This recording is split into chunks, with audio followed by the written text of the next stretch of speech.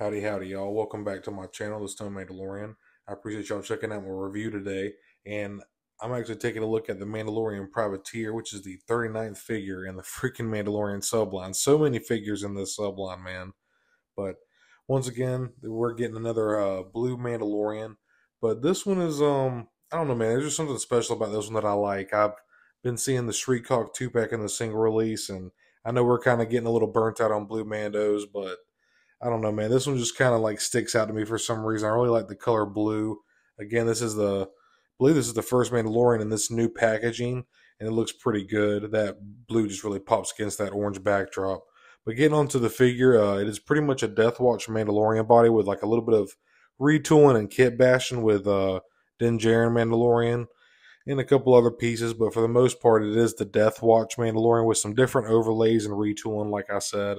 But uh, it's a pretty good looking figure, man. I've seen it at Target and I've seen it in person. I was like, you know what? Why not? You know, to me, clone troopers and stormtroopers are pretty much like commandos. You can't really never have too many. And by the time you get them on the shelf and they're all together, they just look so freaking dope together, man. But uh, I'm excited to get this thing uh, open. So let's not waste any more time and get into it. We're going to take a look at the sculpting, articulation, and some of the paint because it looks like there might be a little bit of weathering. But let's get into it. So, y'all, I got the Privateer out the box, and I know we've gotten a lot of Blue Mandos in the line recently, but I just think it's a really simple and easy way for Hasbro to bump, a, get a couple more dollars out of each one of these molds. And I gotta say, you know, the blue and the gray, I really love the color scheme here. The bluish gray with the little hints of brown on the belt and the boot. It just really goes together nicely. Something about that white stripe over the helmet just really pulls me in. I don't know what it is.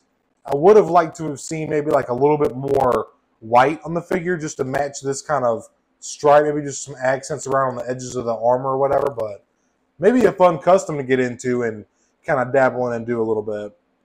But other than that, like like I said, I know we've got a lot of blue Mandos, but if they can give us cool repaints like these, I'm for it. Just because it helps them get a couple more dollars out of this these molds that they use, which supposedly are anywhere from 25 to 100 grand to make for each single mold um, for a figure and whatnot. But this is kind of like a kit bash between like the Mandalorian Din Djarin and the Death Watch Mando. There's a little bit of, of mixed pieces and stuff, but I really like the use of it. Um, I'm looking at the legs now. It looks like it's reused from Mando, and then obviously some pieces from the Death Watch Mando. But uh, like I said, I like the color scheme. Very simple, grayish silver blue color scheme. But yeah, I just I really like the silver around the fucking visor, dude. It just looks so good. It makes that black pop even more.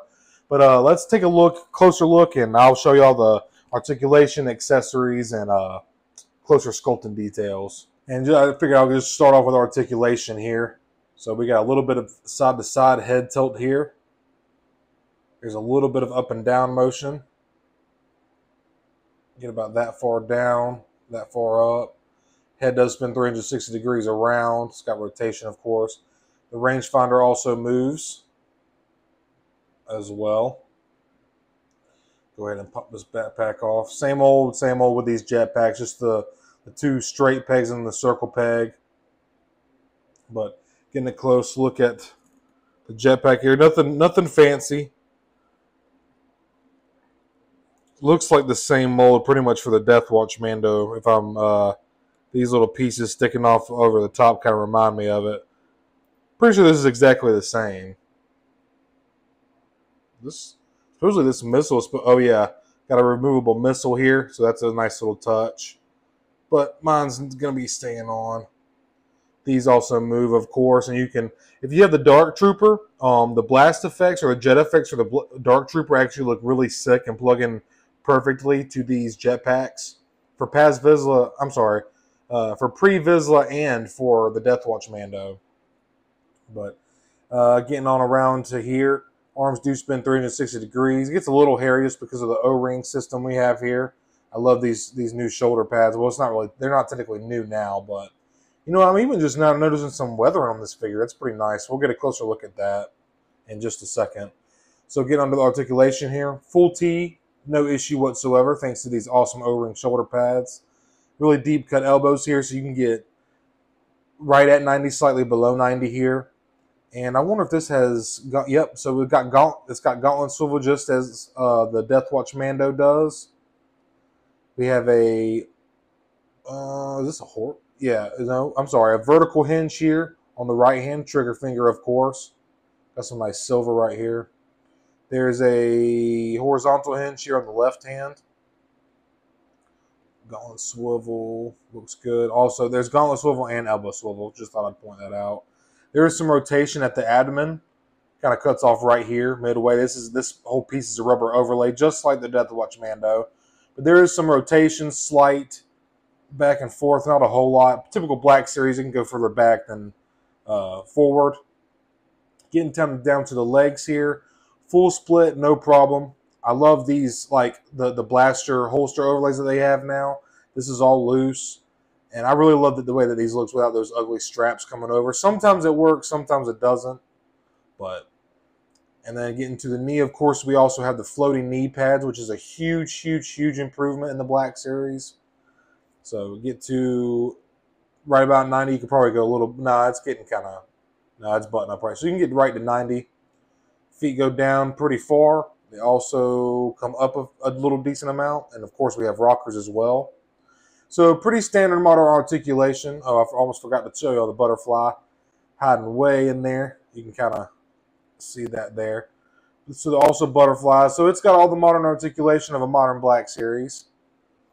Getting a closer look here. Take a look at this weathering.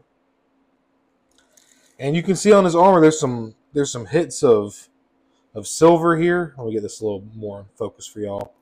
I like this on the shoulder pad right here, even on the gauntlets. This would definitely be be a fun figure to get some silver paint and just kind of kind of mess around with. We got some more on the gauntlets here. Pretty clean on the back, which is typical of a black series. Trying to see if there was any little bit of weathering on this shoulder pad, mostly on the front, which is where you probably see most of the action. I like how the paint is chipped right here along the blue line. This silver is very beautiful, very metallic looking. Makes that visor kind of pop along this blue. This is also a nice touch. Very clean little rectangles here on the side. I even got a little splash of red right here on the white that goes all the way around the helmet. Very clean silver in here too. Rangefinder looks good, very clean. Visor looks good. Would be cool to see uh, like a more like of a glossy black paint, but that's just me nitpicking. I really do like this silver on the visor. That looks really awesome. These these little rectangles are very clean. Very, very clean. Even the belt here, you got a little splash of like this kind of darker silver. Kind of like a slate color. Looks really good. And of course, the as I was stating, er, stating earlier, this overlay for the blaster holster just I love the texture it has. Kind of emulates leather, and it just looks and fits really good with the figure. Got some pouches here on the back, very nicely sculpted. These leg, these little legs look familiar. From the Death Watch Mando, these plates. Oh, I almost forgot we have thigh swivel here too. That's one cool thing about these Mandalorians is how their armor kind of covers that, that thigh swivel on the front. Getting down here to the gauntlet. Nice silver on the on the hand guard here. Nice texture. Nice sculpting. This figure would definitely look badass with a little bit of a couple splashes of silver on the edges. So nice, nice brown. I like this two tone from the light brown to the dark brown on the boots. Very beautiful chocolate brown. I love texture. That looks awesome. Got the straps on the inside of the leg here. That looks very nice. Look at the stitch. Like it looks like the boots are stitched. You can see the stitch into the sole. That's a very nice touch. So, like I said, I know we've gotten a lot of blue Mandos lately, but this figure is, it, I don't know, I think this is one worth picking up. And I know it's very plain blue at that. It's not even got like any other splashes of color. But like I, I sound like a broke record. Like I said, man, if Hasbro can do these little cool, these cool repaints and make a couple more dollars out of these molds that they make, I'm fine with that, dude. It doesn't bother me in the slightest. I do want to. I'm trying to see if this rides up, or maybe it's supposed to stay under. I don't know. But yeah, man, this is a really cool pickup. I've seen this at Target a couple weeks ago. I've had it for a couple weeks now, and uh, I wasn't going to pick up any more of these Blue Mandos, but then I seen the Shriek Hawks coming out, the two pack and the single release, and I was, I don't know, I just kind of looked at. I was like, you know what though, you can't really have too many Mandos in my opinion. Kind of like Stormtroopers and uh, Clone Troopers. You just can't have too many. But I freaking love the way this looks, man. Simple repaint that Hasbro can uh, get a little bit more use of. I'm, I'm fine with that. And I almost forgot, but here is the Privateer's blaster. And I think this is like a ah man, I, I sometimes I, I, get blasters and, and, vehicles dead on, and sometimes I'm off. I feel like this is a, a Westar something, I believe, Mandalorian blaster. I really forget. I could be wrong, but in a cast in like a sparkly gray plastic. It looks looks a decent sculpt. We've seen this before, I'm pretty sure. Typical Mandalorian blaster. And now it's time for the side by side comparisons, motherfucker. But this is one of my favorite part of my reviews is when I kind of bring in some other figures to show you all the scale, and it just really brings in that that real world element. It just makes it feel more cool when you have the figures side by side together. But here on the right, well, actually both of these, both on the right and the left here, is the Death Watch Mandalorian. One of my one of my favorite figures, totally an underrated figure. And this one here on the right, you can see is a lot different than this one on the left. This one on the right was actually customized by my buddy Hyperdrive Collections that he gifted to me for free. This blaster is not a Black Series blaster, but he he uh, gold gold plated it out, and uh, I think it looks. I think it's a really nice addition, and it pops against uh, the figure itself. But this was customized for my buddy Hyperdrive Collections, and I it's a very uh, very interesting take on a Mandalorian. But I really like what he did with this figure. It's an awesome way to add some variety to your shelf, and I just love it very much. But yeah, you can see that this this privateer is practically the same freaking figure, man.